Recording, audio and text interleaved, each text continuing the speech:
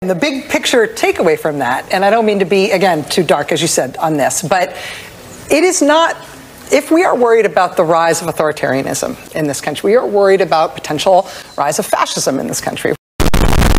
We're worried about our democracy falling to an authoritarian and potentially fascist form of government. The leader who is trying to do that is part of that equation. Mm-hmm. But people wanting that Correct. is a yes, we would. And the American electorate is made up of two major parties. One of those parties has been flirting with extremism on the ultra right for a very long time. They've brought them in in a way that they haven't been central to Republican electoral politics ever before, and I know because I've been studying this. But once you have radicalized one major party so that those are the preferences of the people who adhere to your party, the leader is interchangeable. And yes, Trumpism is sometimes what we call it. Mm-hmm. MAGA movement is probably a better way to do it. But there is an authoritarian mm-hmm. movement inside yes. Republican politics that isn't being bamboozled by Trump. Mm-hmm. They are pushing Trump yeah. to get more and more right. extreme.